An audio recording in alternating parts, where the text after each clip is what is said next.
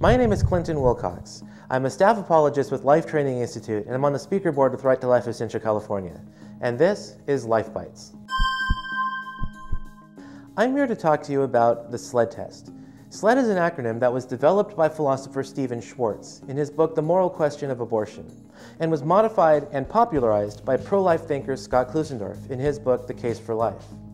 It stands for size, level of development, environment, and degree of dependency. Now let's take a look at the final letter in the acronym, D for degree of dependency, are certainly less developed than born children. They can't even survive outside the womb yet.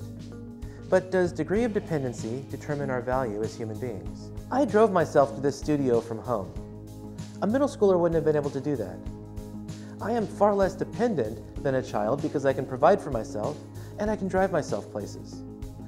Yet I am not more valuable with respect to the right to life than a middle schooler who is far more dependent on her parents than I am. In fact, this idea that a pregnant woman can kill her child because the child is completely dependent on her for survival is very counterintuitive.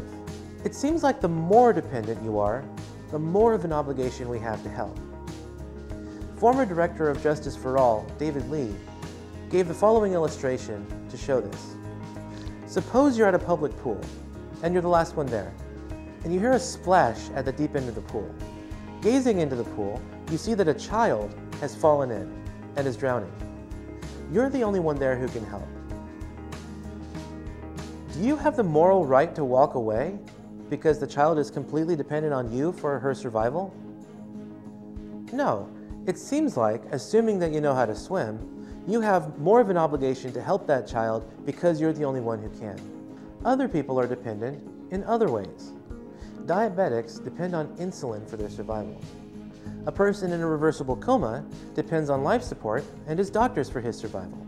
These people are more dependent than I am, but they do not have less value as human beings than I do.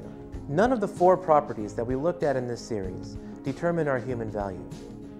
What matters is your humanness, not your size, level of development, environment, or degree of dependency. If you missed the previous videos in this series, we looked at the first three letters of the acronym SLED, S for size, L for level of development, and E for environment. I'm Clinton Wilcox, and for all of us here at Right to Life of Central California, thank you for watching, and we'll see you in the next one.